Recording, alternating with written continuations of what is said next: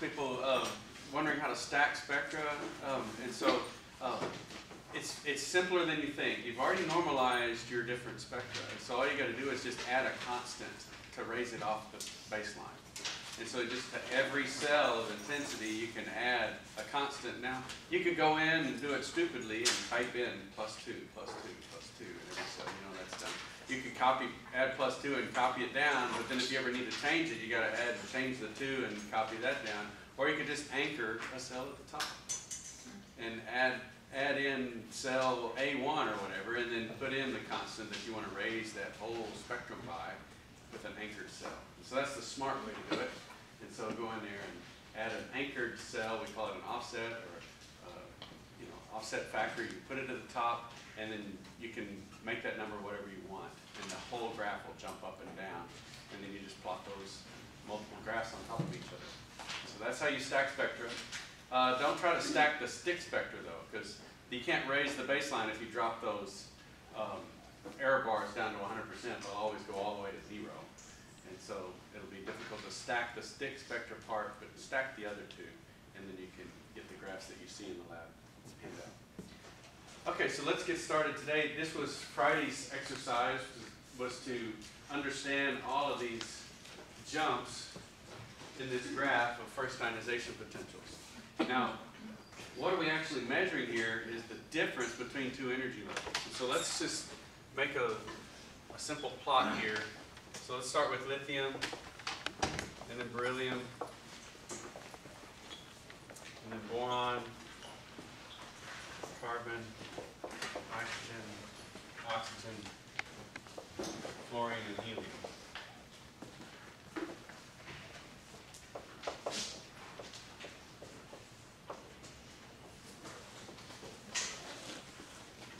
Now, as we come across the periodic table, we're adding protons every time. Every time we go to the right, make a new element, we add one more proton to make a new element, move it to the right.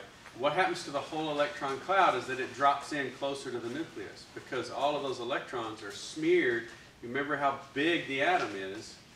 Adding another electron doesn't completely shield that the positive charge on that nucleus. So the electron cloud for all the atoms shrinks. What's the smallest atom in the periodic table? Is uh, helium, right? Yes? Uh, did you mean helium or neon? Neon, thank you. That's what I thought too. Thank you. Okay, good. I noticed some confused looks. Like-. So as we add those protons, the, the electron cloud gets more and more dense because it's being attracted to the nucleus, which means the energy, again, the major energy of the atom is just positives and negatives attracted to each other. Right? You've got the positive nucleus and the electrons in that atom. And so this is a Coulombic attraction. And so you add another proton, add another electron, the whole energy of the atom drops. Remember the Gaussian calculations, all your molecules, the bigger the molecule, the more negative the energy. Because zero energy was pulling all the protons and all the electrons out to infinite space. And so even if you make a hydrogen atom, it drops half a Hartree. That's the energy of a hydrogen atom. You make a helium, it drops more. You make a neon, it drops even more. And so the neutral energies are going to be here, we'll just draw a linear trend like that.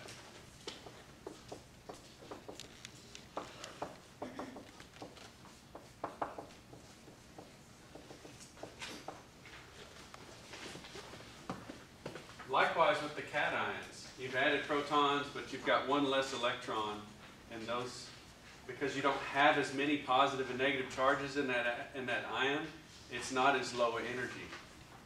Okay, balancing that charge will make it lower energy. So the cations are here, but they don't drop as fast.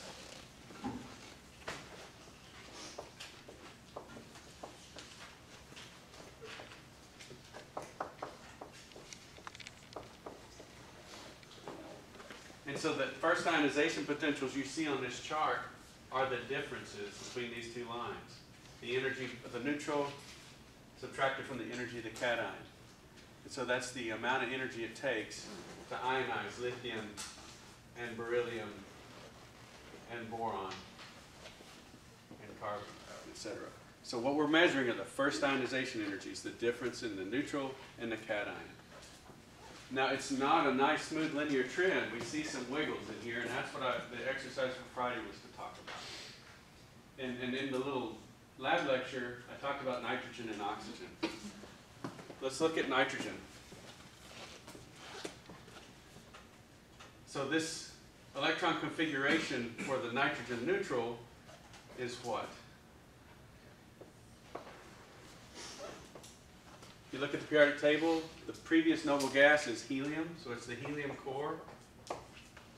And then the next orbital, you come over here, is lithium, sort of that block there. You see that two to the left? That tells you the principal quantum number for that next, next subshell.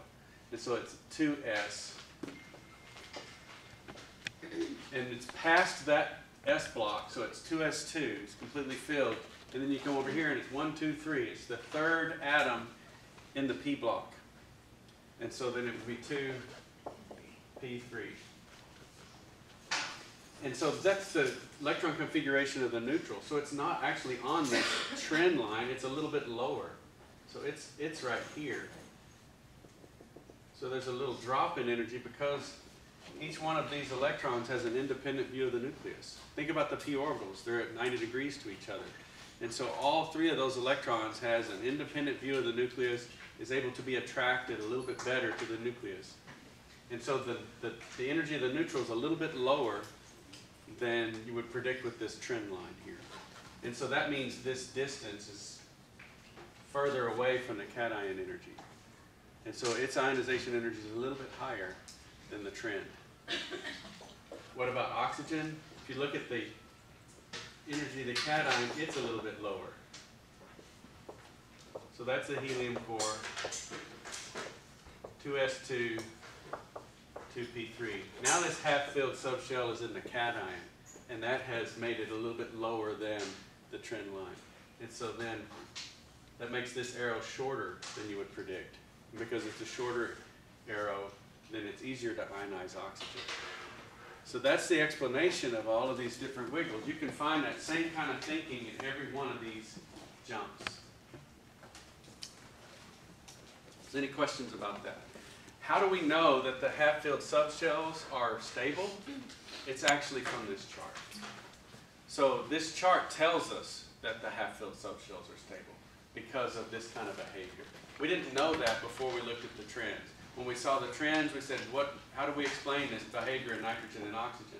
Well, it appears that the half-filled subshells must be stable because when the half-filled subshell is in the neutral, we have a higher ionization potential, and when the half-filled subshell is in the cation, we have a lower ionization potential. So this is the actual data that tells us half-filled subshells are stable. And so that's just a little bit of review of Friday. Let's practice with our electron configurations and take a Kahoot, so.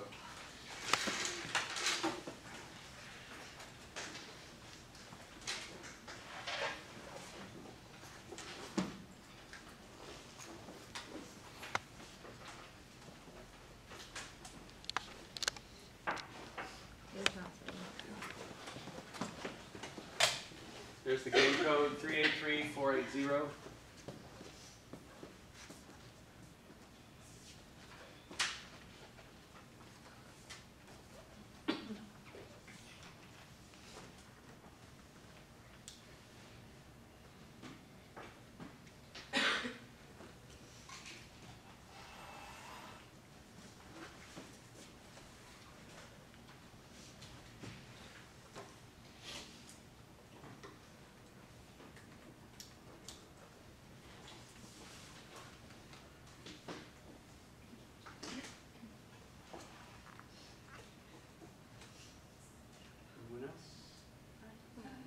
Doing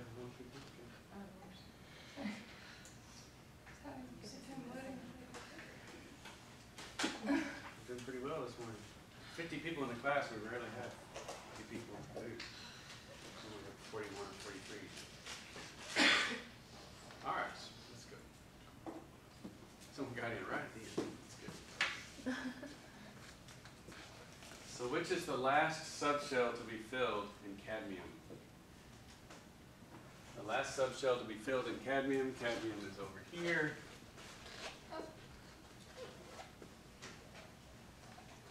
And the choices are, the red is three P, three D for the blue, the yellow is four D, and the green is four F. Three P is red, three D is blue, four D is gold, and four F is green. All right, so it's the four D. If you're looking at the, the, um, those numbers in the periods, those are the, uh, principal quantum number for the S block. If you're coming across, that 4S block has the first row of D elements, but remember, that's the three D then. It goes four S, then three D, then it goes 5S, four D. So cadmium's on the second row of transition elements. What makes the nitrogen group unique? The nitrogen group unique. Red is a half-filled S orbital. Half-filled P orbital is blue. Half-filled D orbital is yellow. Half-filled F orbital is green.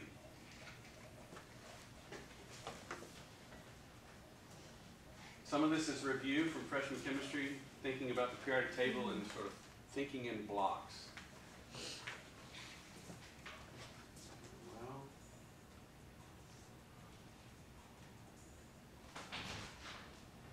Very good, I like to see that big bar graph. This is the P block, and so that would be a half-filled P subshell.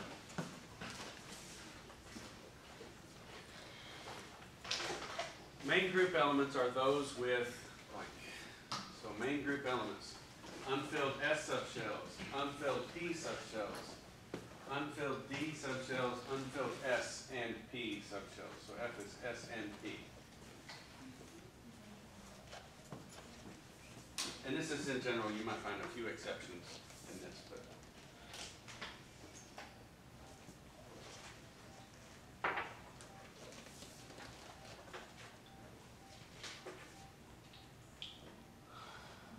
All across the board. Okay, so we're looking for unfilled S and P. So the S block and the P block would be the main group blocks. So we're excluding, when we talk about main group elements, we're not talking about transition metals or the, the uh, F block elements, the rare earths. We're just talking about the, um, the main groups, so S and P blocks. Now, we have filled S orbitals in the, in the second group and in the eighth group in general. Those are the blocks that we're talking about, the main group elements. Why do the orbital energies of the larger atoms break the rules so much? So our choices are in red, the valence electrons are so far from the nucleus. Blue, the larger atoms are unstable. Yellow, half-filled subshells are stable. And green, fully filled subshell, subshells are stable.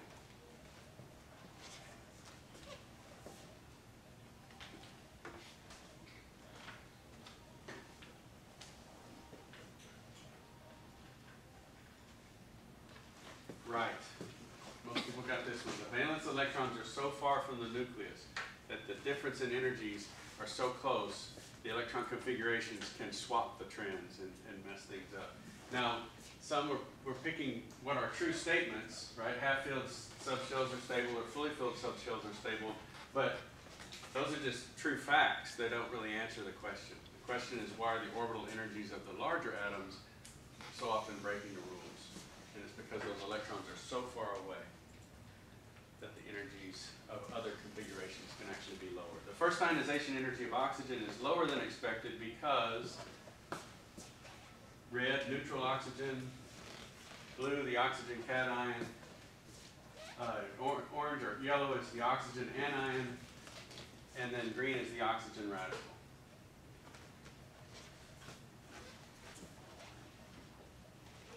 And so we're asking, uh, because one of these is stabilized, is it the neutral oxygen, cation, the anion, or the radical?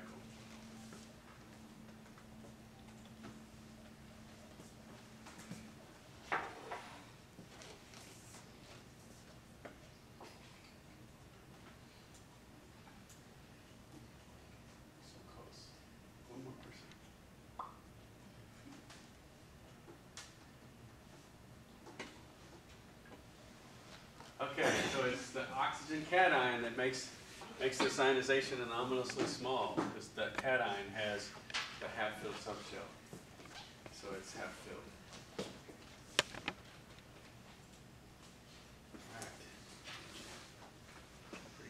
Points.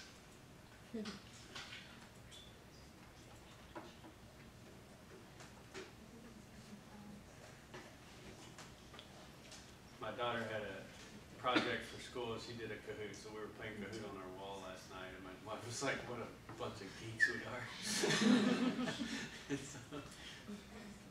I said, hey, this is fun.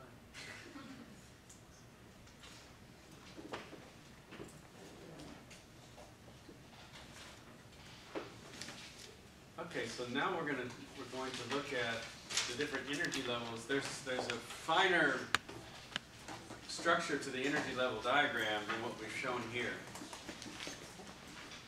So today we're gonna get into the, uh, if we looked at that ionization energy and we really zoomed in to the spectrum, where we would see that the, uh, the, the different peaks that come from ionizing a neutral atom, we would see not just one peak, but we would see some little clusters of peaks. And zooming in, it's called hyperfine splitting. It's not just fine splitting, it's really fine splitting. So these peaks are very close together, and what they depend upon is the particular, the particular permutation or microstates in a given configuration. Now there's configurations and then there's permutations. So think about this nitrogen atom. We've got the p orbitals here. Now that one's actually actually pretty easy. Let's let's do uh, let's do carbon, we'll we'll dig into carbon later. But let's let's think about the orbitals. It's got the the 1s and they're filled, the 2s and they're filled, and then it's got the 3p orbitals, and there's two electrons to go into those three orbitals. And remember the m sub l is minus 1, 0, and 1. And so do I put an electron there, an electron there? Or do I put this electron over here? Or do I have one spin up and one spin down? The difference in energy between those different permutations and how I put the electrons in those, those three orbitals is very small, but it is real. It's measurable. And so today we're going to talk about how we label all of these different combinations of electrons, two electrons in three orbitals. There's a lot of different ways to put that together, and yet the atom is still neutral. Right? It's still neutral carbon. But there's small little energy differences in how we put the electrons in those three p orbitals. So we have certain symbols that we will use to label an atom with a particular permutation, and those are called term symbols. So today we're going to talk about term symbols and the energetic effects of that. And this will lead to this week's lab.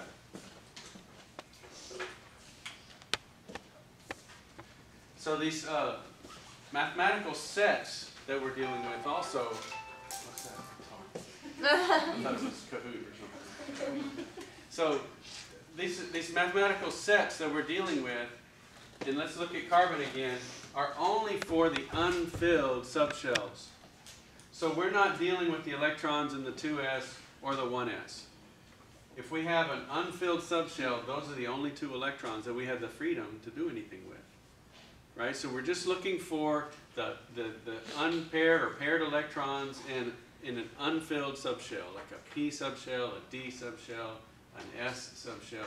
If that subshell is filled, and it's off the table, and we don't worry about those electrons.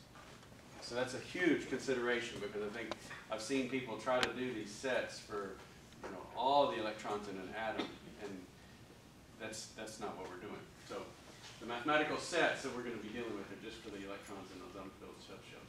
And then the term symbols for the ground state atoms uh, that um, you know we're going to be dealing with like helium, beryllium, neon, and so on. Those are by definition a singlet S0. And so if you have uh, helium, there's no unfilled subshells in helium, and so that ground state term symbol is is a singlet. That's what that little one is on the left. Call it singlet. S. The capital S is like an S orbital, if you will. It's the S term, and then zero is the J uh, quantum number, which we'll see how we get that J quantum number. So this is the scheme we have this configuration like we have in carbon 1s2, 2s2, 2p2, and we have different uh, phenomena that give us the little hyperfine splitting, the tiny little energy levels. We have an electrostatic portion, which gives us the overall term, D, P, S, and so on. And then we have the spin correlation plus that electrostatic uh, term, and that could be whether these electrons are unpaired or paired, so the combinations of the spins. And so in this case, we've got a spin up and a spin up. What's the total spin of this particular permutation? It's plus one half for this and plus one half for that, so the total spin is one. What if this one was down? That would be another permutation. I could put that electron down. It'd be plus one half, minus one half, it'd be a spin of zero. So with two electrons, you can have a, a spin of one or a spin of zero. They can either be unpaired or paired. If they're unpaired, it's a singlet. If they're paired, I mean, if they're unpaired, it's a triplet. If they're uh, paired up, it's a singlet, and we'll see that in a second. And then you have the magnetic or spin orbit coupling, and that gives us this little number down here in the bottom right, and that's the total angular momentum quantum number. It takes into account the spin of the orbital and the spin of the electrons. So we just add all these things together. There's three parts to coming up with the term symbol. So L, this capital L is the total orbital angular momentum. And to remind you, it's electrons in unfilled subshells only. And so this, this is called the Clebsch-Gordan series. That's a great name, isn't it? Clebsch. Look how many consonants are in that name. I was always joking with my wife. Said, is he from Fayette County? You know, because he's got so many consonants. it's a big Czech German heritage there, and so they have a lot of, lot of consonants. So the Clebsch Gordan series, uh, and you're looking here, this, this L is a series that is made up of little L's. And so let me, let me show you what we're talking about now with this carbon.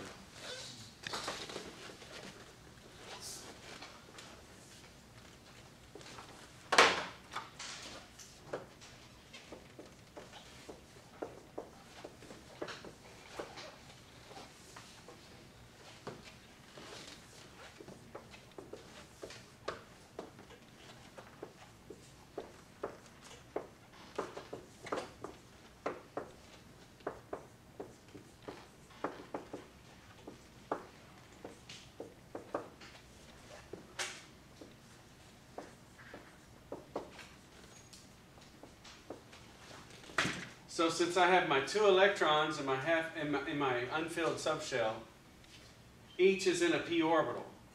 And so the L quantum number for electron 1 is 1. Remember SPDF 0, 1, 2, 3.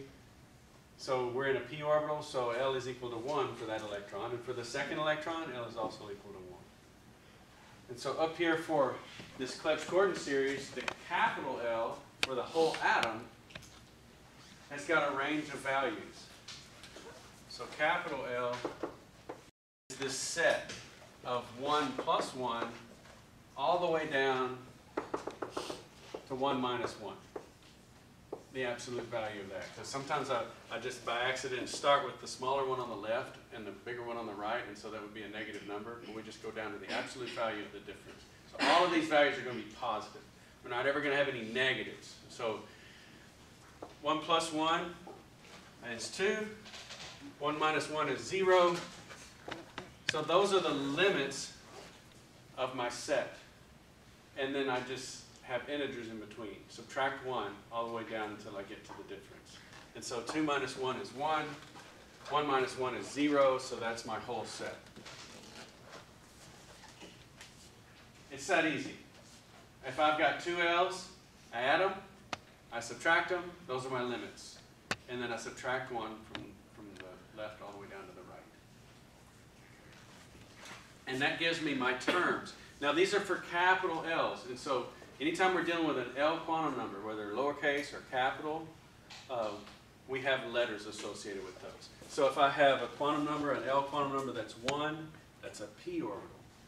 It's a lowercase l, so it's a lowercase p. if I have a capital L, and that's a 2, what is an L equals 2? What letter goes with that?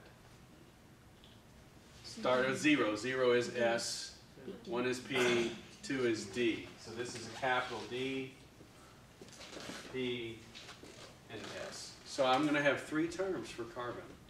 I'm going to have a D term, a P term, and an S term.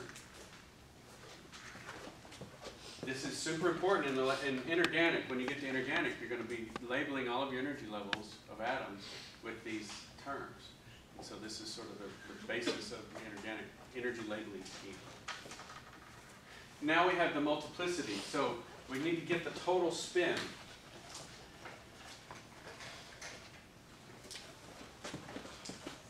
I have two electrons, okay?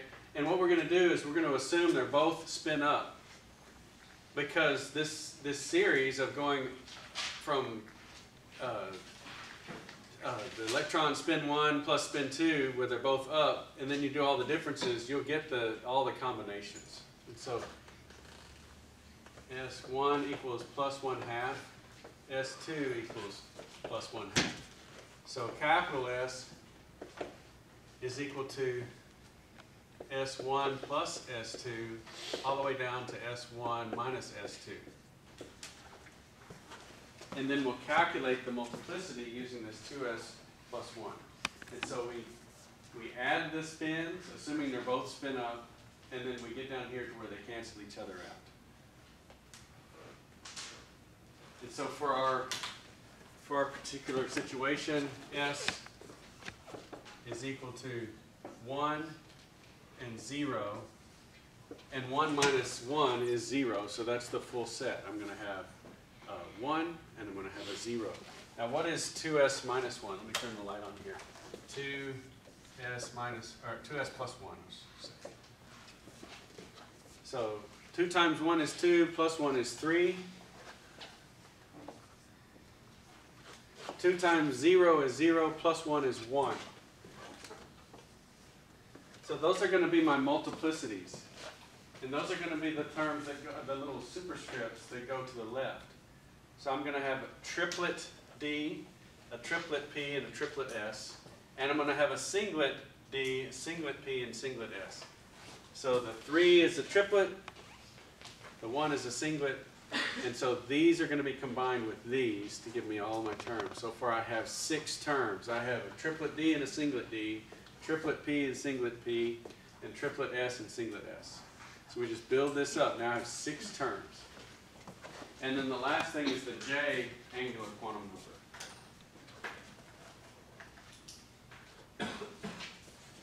And so this is going to be the scheme called Russell-Sanders coupling. There's also called J-J coupling. Uh, Russell-Sanders or Russell-Saunders coupling gives you gets you all the way down to probably row five in the periodic table, certainly through row row four.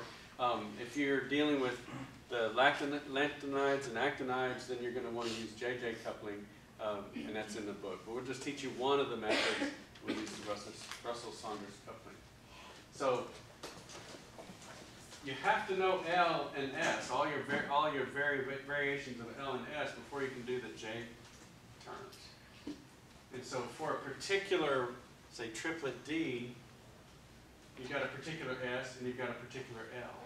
And so you add up L plus S going all the way to L minus S, again, absolute value, and then you subtract one to go from the maximum down to the minimum.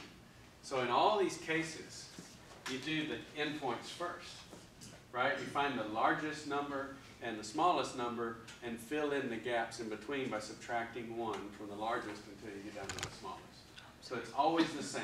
It's the same way at the top, the middle, and at the bottom.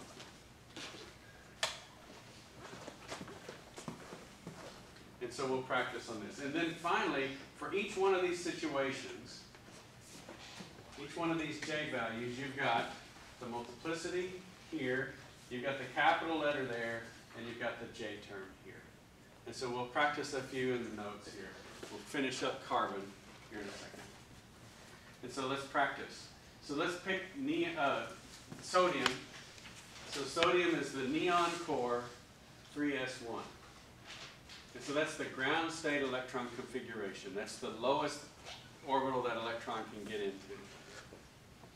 But you have all these other excited electron configurations you can make. You can put it in the 4s orbital. You can put that electron in the, in the 4p. But we're going to focus on the ground state electron configuration for this one. And so what is L? We only have one electron, so that's pretty easy. And what is the L quantum number for that one electron? It's in an s orbital, lowercase s. So lowercase l is 0. and that's, so that's the set for capital L, zero, so the term is gonna be S. So we have an S term for this particular atom of sodium. Then, because the electron is in an s orbital, so yeah, that's why L is equal to zero. Then we have the spin. So capital S, if there were two electrons, we'd have S1 plus S2, but there's only one electron. Okay, so we just have S1, which is plus one half. And so the multiplicity is two times one half plus one. So two times a half is one, plus one is two, and so when we put two in there, we call that a doublet. Yes? So, when you just add the first electron, it's always spin up, or you? Yes, so we don't ever worry about the spin downs because that's what these sets do for us. And that's the nice thing about using the Clebsch-Gordan series is you don't have to think about all the possible combinations. These sets give you the answers that would come from knowing all of those possible combinations. In the book, it shows a bunch of pictures with red and blue electrons up and down, and there's like dozens of, of permutations of how you can put those electrons in there, and you're never guaranteed that you, that you got them all. If you're trying to draw pictures, how do you know you drew all the pictures? Right? So it would be very difficult to be sure that you drew all the possible pictures. Uh, although some people like to do it that way, and that's the way it's taught in the book. But this Clebsch-Gordan series will guarantee that you're going to get all the terms possible for an atom. So why, so we only have one electron. So there's only one S. Correct. And so it's just the spin of that electron. Yes, just the spin of that electron. Why the second formula? What? Oh, 2s plus 1? Yes. We label them not by their spin, but by their multiplicity. Okay. Okay, that's the only way I can, I mean, that's the answer. I don't, I don't know if it's Yeah. meaningful to you, but that's, we label them by their multiplicity. And, uh, and multiplicity a lot of times is exhibited in the spectrum. And so they knew the multiplicity before they knew about the spin. So they say, oh, we get a triplet here, we get a doublet there. And so they were labeling the spectra with these terms like triplets and singlets and doublets. And then they realized how it was related to spin, and it was related to spin by 2s plus 1. Okay. And that's why we really don't have a, um, we don't really have a term, like, we don't have a, a variable for multiplicity, we had names. So the multiplicity of a doublet is a two, but there's really no letter for it, right? It's just the formula 2s plus one. So it kind of came into multiplicity backwards. So we would label the peak pattern as a doublet, and then later figure out how it was related to spin, and it was related to two times the spin plus one. Two times the one electron. Yeah, and in this case, it's one electron, so it's two times a half plus one gives us that doublet. Yeah, which is the, the, you know, the number two. So, uh, singlet is, is one, doublet is two, triplet is three. Of course, we have quartet, quintet, uh, what is the next one? Sextet, septet, octet. So you have all of these different things with their, with their names. And, uh, that's how we would label things with, uh, multiplicity. So we'd use those, those names. And then we have the J quantum number, the total angular momentum quantum number. And so L plus S, so L, capital L, is up here, it's zero, and S is one half. And so on the left, we have zero plus one half, over here we have zero minus one half, and here we can see we have to take the absolute value, because that would be a negative number. Okay, And so it'd be negative one half, but we take the absolute value, so it's gonna be one half. So on the left, we have one half, on the right, we have one half, and we can't subtract one in this case because they're the same. So your max and your min value in this set is the same, so it's just one half. So J equals one half is only one term. So we have this term for ground state sodium, doublet S one half. So that's what you would label that energy level in sodium, would be labeled as a doublet S one half. And you keep, you keep minusing one until you get all the way to the. Yes, yes. And so this, interestingly though, notice that nowhere is the principal quantum number in here. Right? Because this is really just talking about the electron in an orbital, and an electron in an s orbital, whether it's the 3s, the 4s, the 5s, the 6, or the 7s, this is the electron configuration for any NS1 orbital. And so in the diagrams on the NIST website, you'll see down at the bottom, it'll just be labeled NS1 and the lowercase n for the, for the uh, principal quantum number. So any, any of those um, atoms here, the ground state atoms in, the, in, in group one, is going to have that ground state electron configuration, and it's going to have that ground state term of a doublet S1 half. And you can see that in the Grotrian diagram, which we'll get to hopefully today. Let's do now an excited state sodium. So we've hit the sodium with light. Boom, that electron is not in the, in the 3s orbital anymore. It's in the 4p or any, actually, it could be in the 5p, the 6p, or what have you, but that electron is now in the p subshell, it's, it's up there. Now, which p orbital? It could be in the, it could be in the um, m sub l equals 1, m sub l equals 0, m sub l equals minus 1, and those are going to have different energy, slightly different energies. And they're going to be labeled slightly differently. Okay? How do we know all of the different energy levels we're going to have in this excited state sodium atom. We use this Clebsch-Gordan series and come up with all the term symbols. Okay? Because at this point you don't know. How would I label if that electron was in the, the um, px orbital or the p m sub l equals 1 orbital versus the p m sub l equals 0 orbital? Those are going to have slightly different energies and we've got to label them somehow differently. So this is Again, L, we only have one electron, so we have one little l, which gives us one capital L, and it's going to be 1, so the term is P. So these, this excited state, since that electron's in the P subshell, it's going to be a capital letter P. What if it was in the D? It'd be a capital D. If it was in the F, it'd be a capital F. It could even be in the G or the H. What? Yeah, those are higher angular momentum orbitals. They're not in any of the ground state atoms for the periodic table but those orbitals exist. yeah, and so it could be an H. Like I never heard of an H orbital. Well, now you have. I, I think I've heard of up to high. I haven't seen anything above that. So, uh, because that electron is in the p orbital, little l is equal to 1, and so that's what gives us the capital P. The spin, again, is 1 half, so we have a doublet. That hasn't changed, because it's just the only two flavors of electron are up and down, spin spin up or spin down. We always assume that they're spin up, and it'll give us the answers that we need. And now we have the L plus S. So this is a little more interesting. L was 0 last time, now it's 1. And so on the left we have 1 plus a half, and over here we have 1 minus a half. So the maximum value is, and this is weird, they call it 3 halves. Okay, they just keep everything in halves because it's easy to do the subtraction. You have 3 halves, uh, 2 halves, and you know, uh, you have three halves and one half. You subtract one. So you have the three halves for your maximum value and one half for your minimum value. So we're going to have a term, but it's going to have two tiny little energy levels. You have the doublet P three halves and the doublet P one half. So these are the two terms that you would see in excited state sodium. Yes? Even though it's a P, why do you do two S? Because isn't it in the P orbital? Where's the 2s part? Two S plus one. Okay, so this is not an orbital here. And then you bring up a good point. You have Sorry. Yeah, no, this is a really good point to, to point out.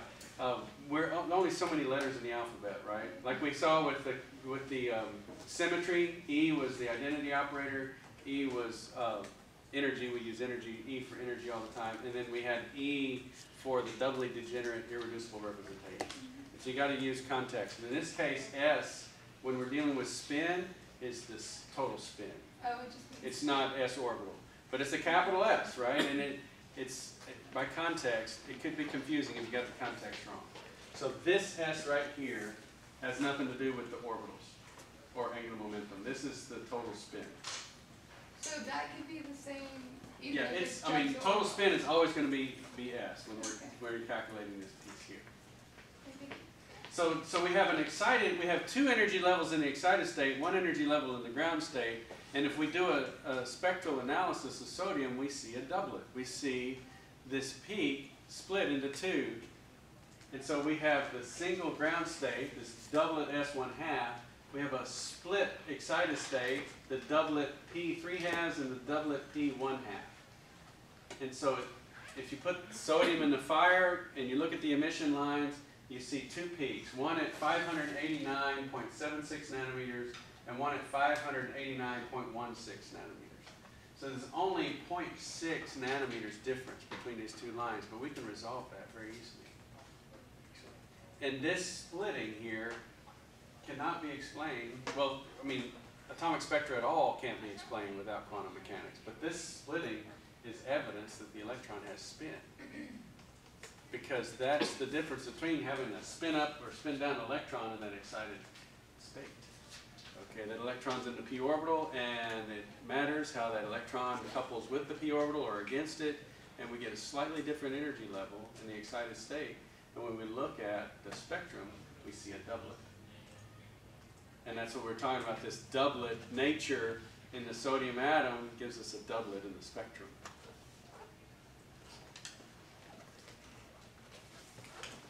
The, and, and this is just the complication that comes just from having one electron. You start putting in multiple electrons like in carbon and it gets very complicated. Uh, we can take all of these energy levels and plot them in a Grotrian diagram. So Grotrian is spelled here.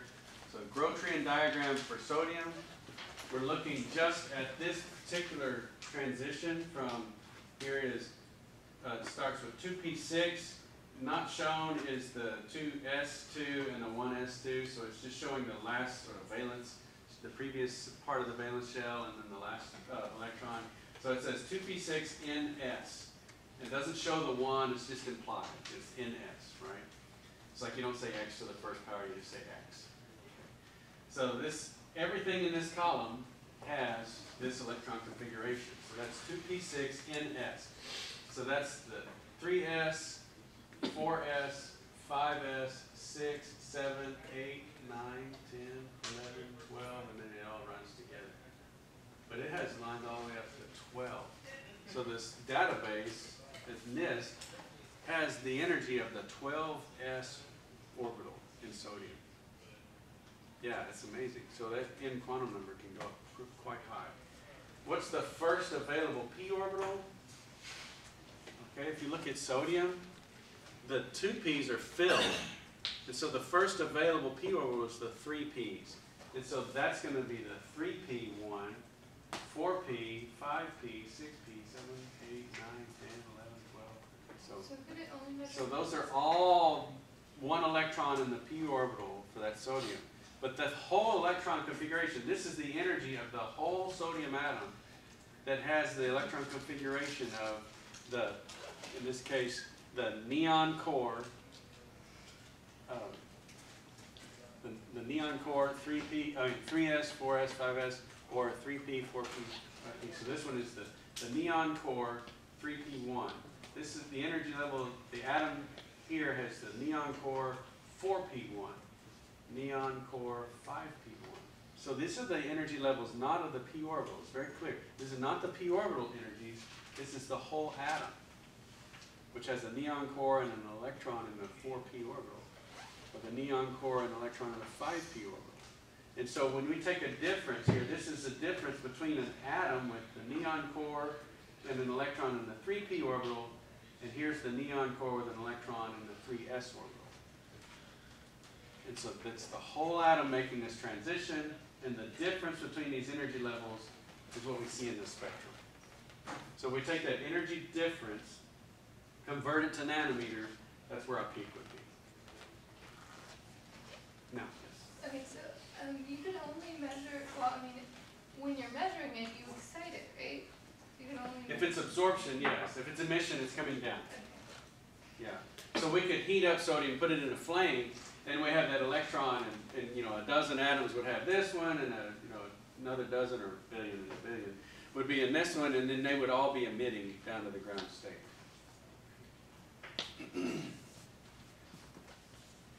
So, all of this work's been done for you naturally, and so you could write tables out for the, the various configurations. So the S one, any, any atom with an S one electron configuration is gonna have these ground state term symbols. P three is gonna have these. But look down here, when you get to, uh, almost half filled or half filled, look at all of the terms. Because think about all the different ways you could put four electrons in the d orbitals. You have five d orbitals, and all the ways you could put those electrons in there. And whether they're all paired spins or unpaired spins, and all the m sub l numbers, you have a lot of splitting in those energy levels. And these are all the terms that you have. Quintet D, triplet H, triplet G, triplet F, there's two ways to get that. Triplet D, triplet P, there's two ways to get that. A singlet I, a singlet G, and there's two ways to get that one. So, am I gonna ask you a D four system? No. I'm probably- I'm not gonna, and, and, but what if you have like, if you have three electrons? All of these, all of these L series are based upon two electrons, L1 plus L2, all the way down to L1 minus L2. And so you do that, and then you take L3 and add it to the combinations of all of those. And so then you would have the sum of L1 and 2 plus L3, all the way down to the sum of L1 and 2 minus L3. And so this thing expands, and it's just a nested set of series. And that's how you get all of these. But that would, uh, yeah, any kind of three electron system would be quite involved. I'll, why don't I just test you on the twos? Okay, so we'll just do the twos, the ones and twos. Uh, but it's a similar set of skills. Once you have this algorithm for computing these sets, then you could work your way through them all. But we'll just, we'll just stop at the two electron system just so I know that you can do those.